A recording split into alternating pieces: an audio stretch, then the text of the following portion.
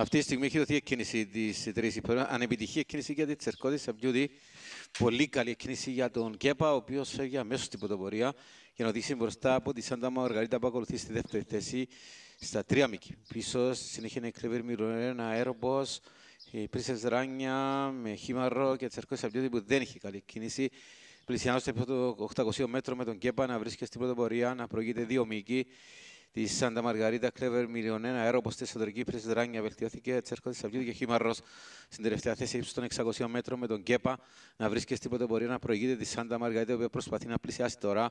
Και η Κλέβερ Μιλιονένα λίγο πιο πίσω αέρο, η πρίση Δράνια ακολουθεί 500 με τον Κέπα να βρίσκεται πάντα στην πρωτοπορία και να προηγείται ένα μήκος τη Σάντα Μαργαρίτα και της Κλέβερ Μιλιονένα, η οποία είναι υποπίεση. Συνέχεια τρέχει ο αέροπος στην τέταρτη θέση, λίγο πίσω σε αυτό το σημείο με τον Κέπα στην πρωτοπορία. Δέχεται την επίθεση της Clever Millionaire τώρα, η οποία είναι στο μισό μήκος, έμεινε τρίτη Σάντα Μαργάρα και τέταρτος ο αέροπος.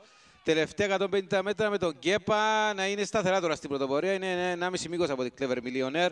Αρκετά πιο πίσω το τρίτο άργο με τον Κέπα από την αρχή στην πρωτοπορία στο 1,5 μήκος. Κέπα θα κερδίσει άνετα την υποδρομία.